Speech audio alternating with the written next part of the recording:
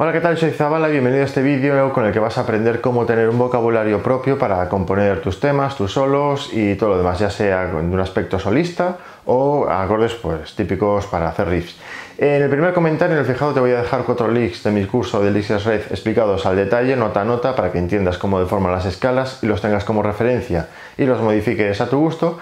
Y al final de este vídeo me vas a poder ver eh, tocar uno de mis solos de uno de mis temas para que veas pues bueno, el vocabulario que tengo yo y que te voy a explicar a lo largo de este vídeo. Así que nada, vamos a comenzar. Bueno, antes de pararme y explicar un poco en profundidad mi lenguaje en cuanto a acordes y técnicas, te voy a dar la definición de qué es esto de tener un lenguaje propio. Bueno, pues tener un lenguaje propio en guitarra implica tener una serie de recursos armónicos y técnicos que se usan de una forma recurrente cuando alguien compone. Pues por ejemplo, no es lo mismo cuando Steve Vai compone uno de sus temas a cuando lo hace John Petrucci o Zach Wild o Angus. Bien, cada uno tiene una serie de recursos, tanto técnicos como armónicos, diferentes. Al margen de que sean distintos, también es importante cómo se combinan entre ellos y cómo se usan. Bien, con cómo se usa me refiero a, imagínate Angus Young e imagínate ahora Zach. Ambos guitarristas usan prácticamente siempre la escala pentatónica, pero Zach la usa de forma diferente a Angus Young, porque Zach por ejemplo, el vibrato lo hace mucho más exagerado y con armónicos de púa, cosa que Angus Young también hace vibrato, pero sin armónicos de púa. Entonces, ahí ves un poco cómo hace el vibrato Zach por la amplitud que tiene en comparación con Angus Young, pero también la combinación de técnicas. Zawell combina lo que es un vibrato muy agresivo, muy amplio, con un armónico de púa y Angus Young no. Otro ejemplo, pues sería quizás más drástico, sería pues por ejemplo cuando escuchas Angus Young con Steve Vai. Ahora son las técnicas, ya son diferentes. Angus Young usa la pentatónica y demás, vibrato y tal, pero Steve usa otro tipo de escalas, con otro tipo de ritmos, y usa también la palanca, usa más tapping. Entonces ahí ves eh, tres guitarristas que tienen un lenguaje muy diferente. Esto si lo pasamos al castellano, tienes que entender que la música es un lenguaje como tal. Entonces imagínate el castellano. ¿no? Tenemos lo que seríamos los ingenieros, tenemos el lenguaje técnico, que es diferente al lenguaje coloquial que usaría cualquier persona. Por ejemplo, una persona diría, un avión vuela a tal altura. Un ingeniero o un piloto diría, un avión vuela a tal cota. La palabra aquí es diferente, indican lo mismo, pero el lenguaje es distinto. Por ejemplo, una persona diría, la temperatura ha variado tantos grados. Un ingeniero diría, el gradiente térmico es tanto.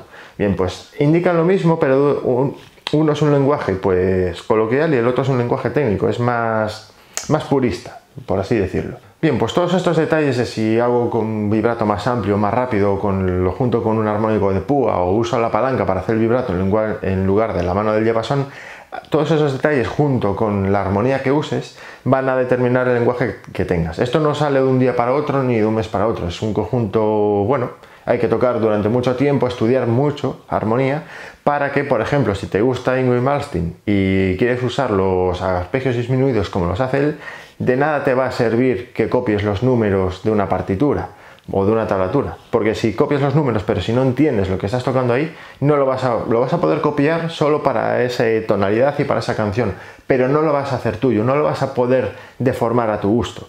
Tienes que entender que, por ejemplo, los, arpegios disminuidos pues salen de la escala disminuida, que se puede usar en combinación con la escala armónica porque tal acorde. Eso lo explico en mi curso de escalas ocultas, te dejo un enlace a mis cursos en la descripción del vídeo. Entonces, si no entiendes todo el trasfondo armónico que hay detrás de un solo, no lo vas a poder absorber en su totalidad. Simplemente lo vas a poder copiar y ya está. Pero a la hora de componer, al final es como ver un profesor que te está explicando eh, un ejercicio, unas integrales, por ejemplo, pero después tú en tu casa, tú solo intenta hacerla. La cosa cambia bastante. Pues es un poco eso. Si no lo tienes bien interiorizado, bien sabido, al final es como si no lo supieses, porque solo lo vas a poder copiar para esa tonalidad en concreto porque tienes esos trastes. Pero si lo pasas o compones algo que esté en otro tono, pues porque el cantante tiene que cantar en otra tonalidad, al final no vas a poder eh, deformarlo y hacerlo tuyo. Bueno, dicho esto, voy a pasar ahora a explicarte cuál es mi lenguaje un poco por encima en cuanto a acordes y técnicas Y bueno, obviamente podría profundizar muchísimo más, pero bueno, tampoco quiero hacer un vídeo aquí de 4 horas. Y eh, lo que voy a hacer es explicarte primero los acordes con distorsión y después en canal limpio y después las técnicas que voy a usar.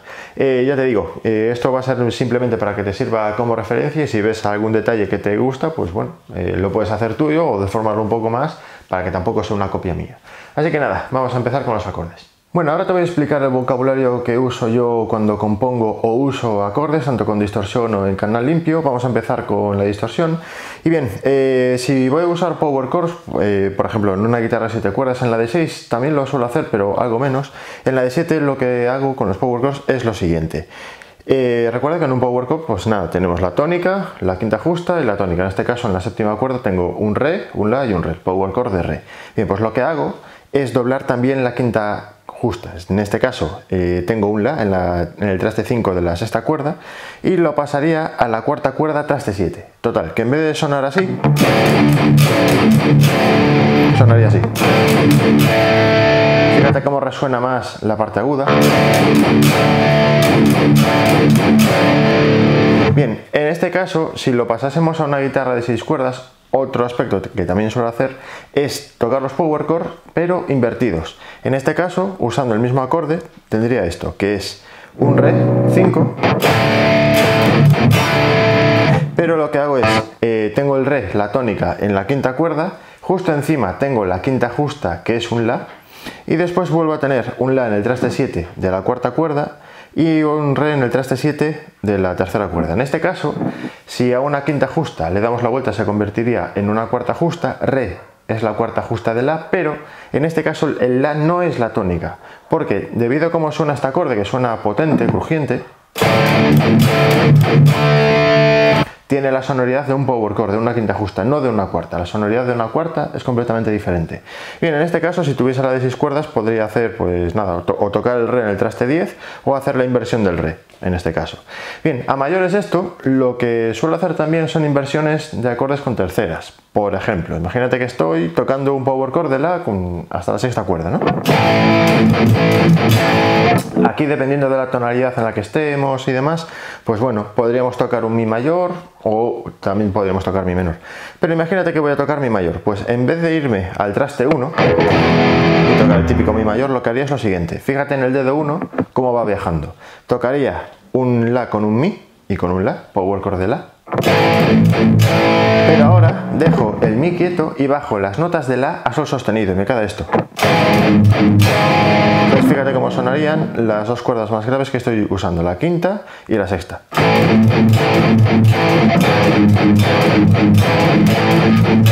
Es mucho más melódico esto que esto. Porque aquí lo que voy haciendo es enlazar cada nota a su la siguiente nota más cercana y no, eh, no hago saltos, como por ejemplo saltar de este la, de la del 3 de 5 de la sexta cuerda a la, a la sexta al aire que es un mi. Bien, todos estos detalles son los que suelo usar yo eh, cuando estoy con distorsión. Por ejemplo, otro detalle es, imagínate que voy a tocar pues con siete cuerdas, ¿no? Y el típico re 5 que hacemos aquí todos con seis cuerdas, que por ejemplo hace C usaría el fa sostenido para hacer re mayor. pues yo basándome un poco en esta idea, con siete cuerdas lo que hago es tocar el re de la séptima porque te queda un sonido mucho más fuerte.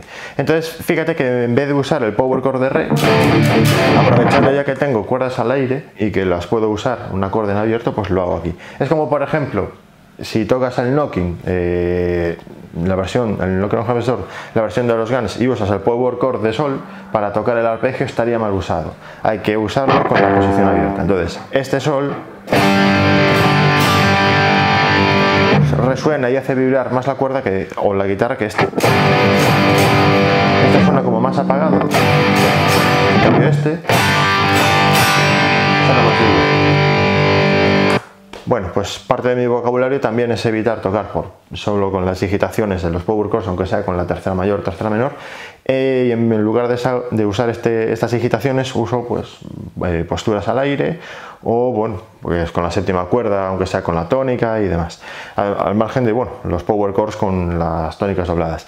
Depende un poco también en qué parte estés tocando si por ejemplo va a ser, eh, no sé, pues una parte de un riff para que vaya una voz o una melodía de guitarra y lo que quieres es que suene con cuerpo y darle un colchón bueno a lo que sea la melodía de la guitarra. Entonces, en ese aspecto, eh, quizás en lugar de usar estos acordes, por ejemplo este re o este sol, usaría el power chord de re con la quinta doblada y el sol también. Porque, aunque son un poco más apagados que los otros, al doblar la quinta le da un poco más de brillo. Bien, vamos a pasar ahora a la versión con los acordes en canal limpio. Bien, con los acordes en canal limpio la cosa cambia un poco y es que al tener un canal limpio, es decir, sin distorsión, todas las notas que vamos a tocar en la guitarra eh, van a tener su presencia y no se va a generar una pelota de sonido.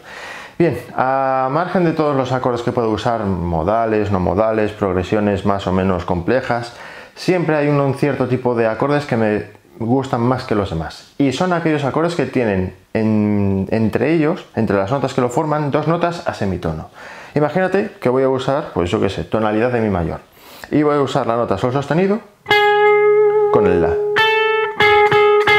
Bien, la magia de estos acordes es que al tener notas a semitono hacen como una escalera eh, con eh, estas dos notas junto con las demás. Entonces, en vez de tener como un acorde típico do mayor o re mayor o sol mayor, que aunque suenen bien, pues que digamos están las notas eh, saltando unas de otras, no hay pasos intermedios que enlacen las notas.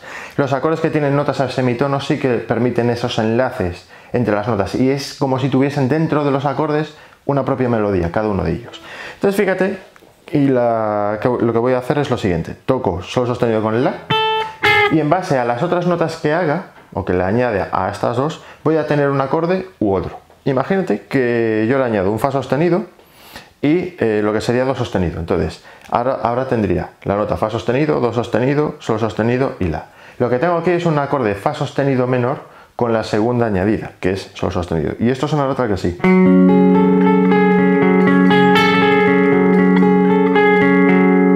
Que tiene mucha densidad melódica, mucha, mucho color. Es un, es un acorde que, bueno, pues que resuena bastante tiene, peso melódico, peso armónico. Bien, en cambio si por ejemplo dejo de tocar fa sostenido y toco el si de la cuarta cuerda en el traste 9 y toco un mi en la sexta cuerda al aire dejando sol sostenido y la, ahora me voy a pasar a un mi mayor pero con la cuarta añadida. Entonces esto sonará así.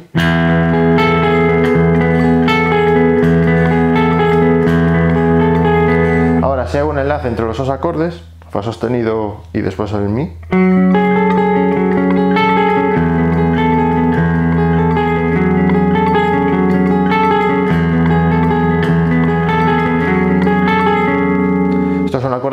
perfectamente una progresión que perfectamente podría hacer yo en alguno de mis temas. Bien, vamos a pasar ahora al aspecto técnico. Bueno, vamos allá con las técnicas que forman parte de mi vocabulario a la hora de componer o de improvisar un solo, pero bueno, antes de meterme de lleno con bending, stopping y todas esas historias, quiero hacer un inciso y te voy a comentar lo que son los compases irregulares, que bueno, también tienes este vídeo de aquí arriba, pero te los voy a explicar así rápido para que veas cómo hago yo las rítmicas de mis temas.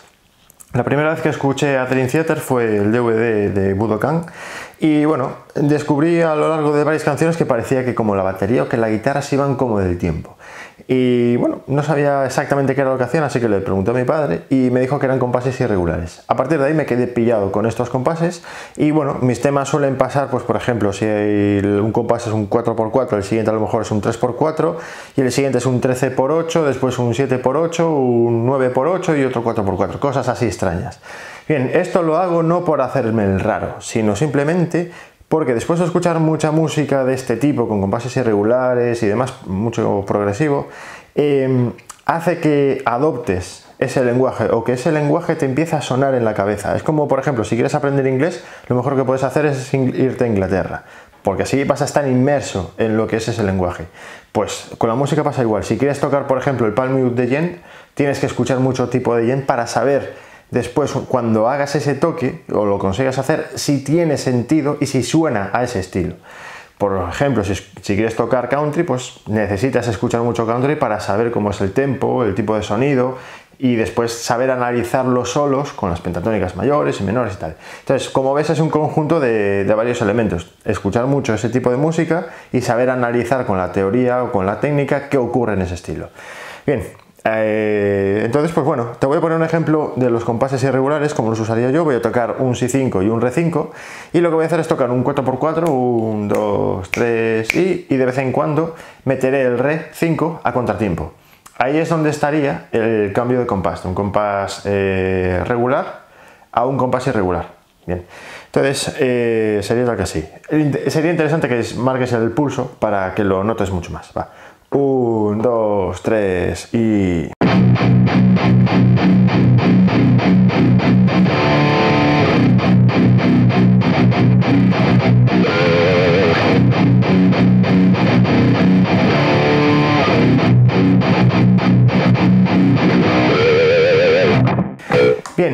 que acabo de tocar también se podría indicar de otra manera, en vez de un compás irregular, pues yo que sé, la última semicorchea de un compás de 4x4 o de 3x4, o con un ligado hacia otro compás regular y demás. Pero el hecho de escribirlo en compás irregular hace que todos los instrumentos se deban a la cadencia rítmica de ese compás, la batería y demás. Entonces, tiene, la música tiene mucho más feeling de, de esa irregularidad de ese compás.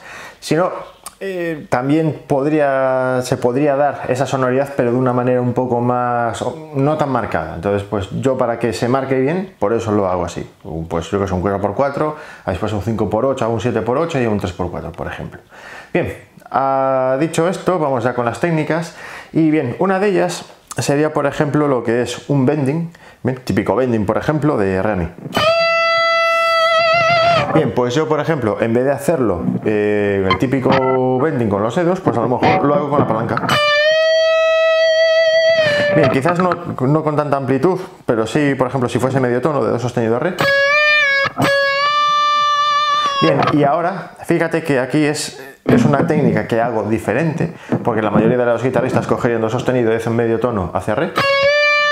Pero yo hago con la palanca una técnica distinta o modifico la técnica que todo el mundo suele hacer de esa manera. Por eso suena un poco distinto. A mayores esto, eh, recuerda lo, de, lo que te comenté de los guitarristas, que Zawell, por ejemplo, usa la pentatónica, igual que Angus que también usa la pentatónica, pero lo hacen de formas diferentes. Pues aquí ves un bending hecho de forma diferente, con la palanca en este caso. Ahora vendría, por ejemplo, la combinación de técnicas. Yo haría, o lo que suelo hacer siempre es el bending con la palanca, y ahora, mientras estoy con el bending en la palanca, hago un pull-off, por ejemplo, de do sostenido hacia así. Imagínate que estoy en la tonalidad de mi mayor. Pues mi, fa sostenido, sol sostenido, la, si, do sostenido, re sostenido y tal. Bien, entonces, ¿qué ocurre? Que como estoy haciendo un bending con la palanca, cuando yo haga el pull-off, la nota de si no va a sonar así, va a sonar al si más el bending de la palanca. En este caso, la nota de do. Lo que ocurre aquí es que cuando haga este pull-off, durante un momento va a sonar fuera de tono, pero voy a relajar la palanca y va a volver a sonar dentro del tono. Por ejemplo, si toco un acorde Mi 5, Mi mayor, para que lo tengas en el tono, en el oído. Entonces fíjate el efecto como suena. Si hiciese el bending tal cual y tocando con púa,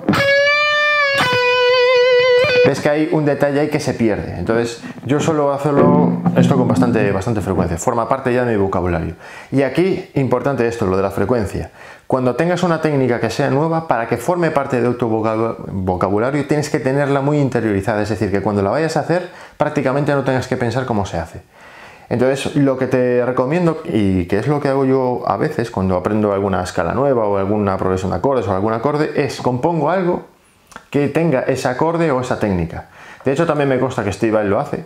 Y bueno, es una forma de eh, recordar diferentes aspectos teóricos o diferentes técnicas, de tal manera que, bueno, como lo vas a tocar porque es tuyo, es tu solo y demás, pues bueno, oye, eh, con la frecuencia, con la repetición, pues no se te olvida y ya empiezas a recordarlo más.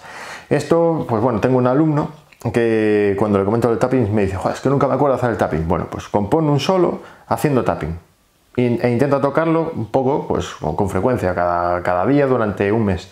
Al, siguiente mes ya verás cómo te acuerdas de hacer tapping, pues esto va así. Bien, a mayores esto, eh, siguiendo con los bendings, lo que también hago es un bending al que le aplico un tapping. Por ejemplo, ya volviendo con el bending de Rami, Imagínate que sigo, pues yo qué sé, en la tonalidad de, en este caso, pues yo qué sé, de, la mayor, porque estoy en re a mí.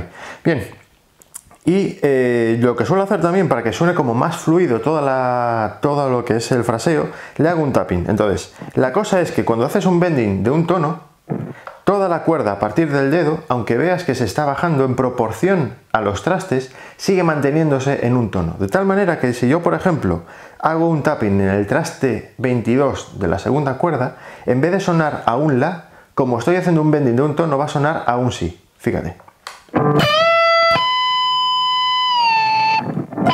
Fíjate el, tapping en el traste 24 y ahora en el 22, pero en el 22 hago un bending.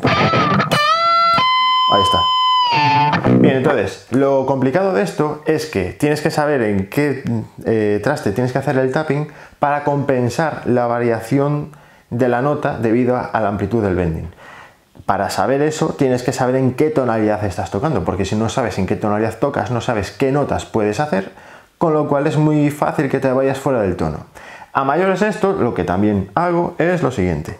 Imagínate que vuelvo a hacer el bending de, de re a mi y que sigo en la tonalidad de la. Bien, esa tonalidad, pues nada, tiene un fa sostenido, un sol sostenido y un la. Entonces, de tal manera que lo que pasaría es lo siguiente. Si yo quiero hacer un bending eh, con tapping y al tapping hacerle un slide, tendría que calcular en dónde podría hacer ese slide, donde tendría que aterrizar con el dedo, para en este caso, por ejemplo, tocar sol sostenido con la. Entonces, la cosa es que tendría que hacer un bending, eh, bueno, el bending de un tono, y hacer un tapping en lo que sería fa sostenido, porque este, este tapping ahora va a sonar como sol sostenido y ahora al irme al traste en el que tengo un sol, que es una nota fuera de tono, este sol como el bending es un tono me vuelve a la nota de la. Entonces, como ves es un poco rollo todo esto, si te has perdido, lo vuelves hacia atrás porque creo que si lo vuelvo a explicar no me va a quedar tan claro. Eh, es un poco rollo en el sentido que tienes que compensar la nota que del traste, tal cual, junto con el bending. Entonces, por eso repito que bueno, es tan importante el aspecto técnico como el, armónico. Bien, eh, continuando con los bendings, también lo que suelo hacer a veces es lo siguiente. Imagínate que tengo un bending, yo que sé, de, pues, de medio tono, ¿no? De do sostenido a, a re otra vez. Vale, pues lo que podría hacer es hacer un ligado. En este caso, como estoy haciendo un bending de medio tono, de do sostenido a re, tonalidad por ejemplo de la mayor, para hacer el hammer-on y seguir dentro de la tonalidad, lo que puedo hacer es un, eh, un, ligado en lo que sería re sostenido, porque como tengo el bending de medio tono, este re sostenido suena a mí. Otro efecto parecido a lo de la palanca sería lo siguiente, hacer un ligado de medio tono a una nota fuera de tono y bajar el bending para que la nota vuelva a estar dentro. Entonces fíjate como lo que voy haciendo muchas veces es irme fuera de, la tonalidad por un momento para volver dentro. Esto lo hace mucho Marty Friedman en la canción eh, Tibet, que analizo en mi curso Neopentatónicas, y lo que hace el paisanillo es esto. Toca, por ejemplo, la pentatónica de Mi menor, y lo que hace son bendings eh, justo por detrás de las notas, de las séptimas mayores de cada una de las notas de la escala, de tal manera que, por ejemplo, un fraseo quedaría...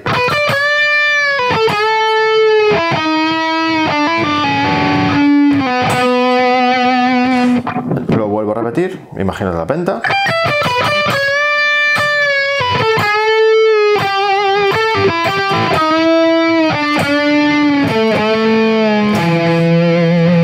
Al margen de que estas notas a medio tono por detrás de las de la penta pueden estar dentro o no de la tonalidad, por ejemplo, si estoy en la tonalidad de la mayor, o por ejemplo de la tonalidad de la mayor, no, eh, de re mayor, mi segundo grado tengo do sostenido, esta nota está dentro, pero el efecto, al reproducirlo una y otra vez, es donde empieza a sonar a Marty Friedman.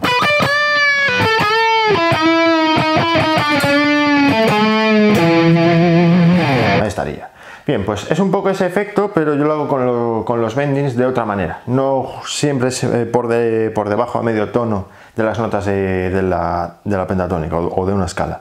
Bien, continuando con los bendings, otra cosa que suelo hacer es, el típico doble bending. Bueno, de típico tiene poco, típico para mí. Eh, sería lo siguiente, el handicap principal para esta técnica sería que eh, la acción de las cuerdas sea lo más baja posible, sin que llegue a trastear, porque lo que consiste es lo siguiente. Imagínate que hago el bending de Rami. Vale, pues una vez que estoy arriba, Al hacer un bending, en este caso hacia arriba, o bueno, hacia abajo, siempre que se desplace la cuerda, la cuerda se va a pegar a las adyacentes, o por encima o por debajo. En este caso, se pega por debajo. Bien, pues lo que hago es lo siguiente, roto la mano y giro el dedo también, para que con en este caso con el dedo 3 pince o pueda eh, presionar la, tercera cuerda de tal manera que cuando baje el bending de la segunda cuerda, la tercera empieza a hacer un bending hacia abajo. Entonces ahí se entremezclan la sonoridad de las dos notas. Fíjate cómo quedaría. estaría otra vez. Una vez más. Ahí estaría. Y bueno, ya para terminar, una de las técnicas que suelo usar yo con bastante frecuencia, que no muchas veces le he visto a los guitarristas hacerlo, es los armónicos octavados. Los armónicos octavados, eh, ahora te los voy a explicar de otras maneras, tienes una guía aquí de todos los armónicos que puedes hacer. Bien, eh, consisten en lo siguiente, un traste cualquiera, por ejemplo, pues yo que sé, el traste 5 de la tercera cuerda.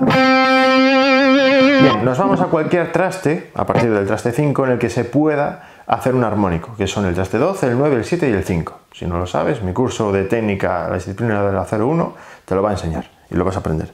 Bien, entonces me voy al traste 12, en este caso del 5, pues 12 más 5, 17. Me voy al traste 17 y lo que hago es, con en este caso, tal y como lo hago yo, eh, toco con el dedo 1 la cuerda justo encima del traste, 12, en este caso 12 trastes justos, y por detrás lo doy con la púa. Entonces me queda esta sonoridad. Bien, esto también se podría hacer con tapping, por ejemplo, pero los armónicos octavados tienen una magia oscura que cualquier otro tipo de armónico no es, no, no tiene. Y es lo siguiente, imagínate que estás, yo que sé, en el traste 17 en este caso, y te quieres ir al traste 12 del traste 17, que serían 29. Pero no tienes 29 trastes en la guitarra. Entonces, lo que pasa es que aquí, al hacer armónicos octavados fuera del diapasón, sigue apareciendo los armónicos. Lo ves. Pero si lo quieres hacer con tapping, es mucho más complicado. A mí me sale porque tengo el toque bastante conseguido, pero es mucho más fácil darle con la púa y con el armónico octavado. Porque recuerda que cada vez que estamos haciendo un tapping, eh, un armónico con tapping, estamos frenando con el dedo la vibración de la cuerda. Cosa que al darle después en el armónico octavado por detrás, reactivamos esa vibración y conseguimos que vuelva a sonar el armónico con fuerza. Entonces, esto es algo que hago yo bastante. Con tapping, pues no sé si me saldrá ahora. Ves que si no le doy con la púa, parece que no suena, pero con el tapping octavado sí. Pues hasta aquí este vídeo, espero que te haya gustado y que te haya resultado interesante. Si crees que has aprendido algo, suscríbete abajo a la derecha y dale a la campanita para estar atento cuando saque vídeos nuevos. Recuerda que en el primer comentario tienes cuatro solos creados por mí explicados nota a nota, bien para que los hagas tuyos, los entiendas en profundidad y los puedas deformar todo lo que quieras, así es como se aprende. De nada te sirve tener un solo Steve si no eres capaz de analizarlo. Por eso en todos mis cursos todos los solos están explicados nota a nota, con flechas diciéndote, pues mira, este sol sostenido implica el cambio de escala, de tono y demás. Bien, y a continuación me vas a poder ver eh, tocar uno, un, solo de uno de mis temas para que veas en conjunto, pues bueno, cómo suenan todas las técnicas que uso y que forman parte de mi vocabulario. Eh, si te gusta el solo, si no, pues bueno, espero que me dejes algún comentario en este vídeo para ver qué, qué te ha parecido el solo final. Así que nada, gracias por ver este vídeo, nos veremos en el siguiente. Un saludo.